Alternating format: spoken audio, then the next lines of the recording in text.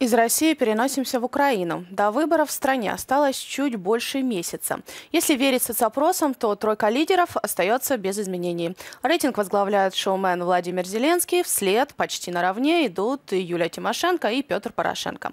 Но есть ли у Зеленского шансы подтвердить данные опросов уже 31 марта? Ответ в материале Дениса Шпигова.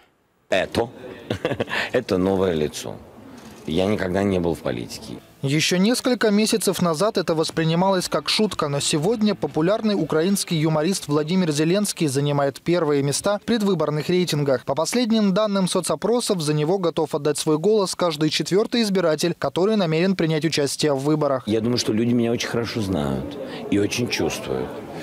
И, и то, о чем я говорю, они понимают, что у меня не было до этого обещаний, и потом извинений. Действительно, обещаний, кроме предвыборных, Зеленский пока не давал. Но интервью актер раздает неохотно. Его высокий рейтинг аналитики объясняют запросом украинцев на новых политиков.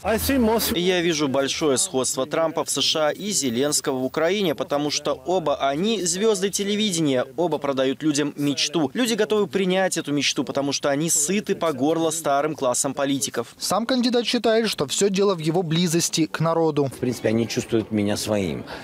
Но потому что я открыт.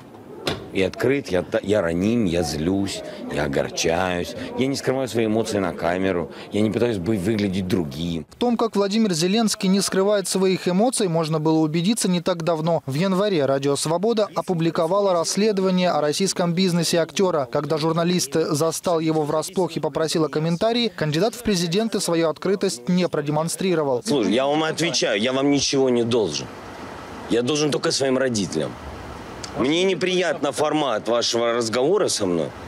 Я думал, что вы приличный парень, журналист. Тогда СМИ обратили внимание, что автомобиль, на котором уехал кандидат в президенты, принадлежит бизнес-группе «Приват» украинского олигарха Игоря Коломойского. Ряд публицистов и экспертов подозревают актера в связях с опальным бизнесменом. Однако и Коломойский, и Зеленский это опровергают. Посмотрите, я иду в президенты не для того, чтобы возвращать «Приватбанк».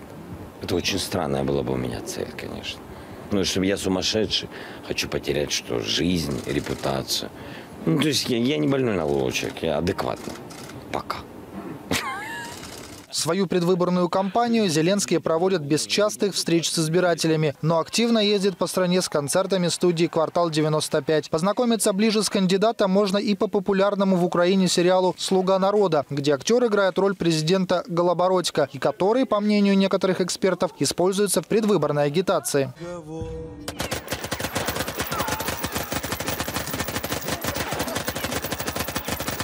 Как комика и бизнесмена я его считаю человеком, на которого можно равняться. Как политика я его еще не видел. По-моему, пост президента – это не та должность, на которой стоит тестировать свои способности. Украине треба потрібно щось новое. Украине нужно что-то новое. Все уже приелись. Если человек умеет шутить, значит он умный. Шутить Зеленский умеет, а вот сможет ли актер эффективно управлять государством, станет известно уже этой весной после президентских выборов в Украине. Если, конечно, след следующие кадры окажутся пророческими.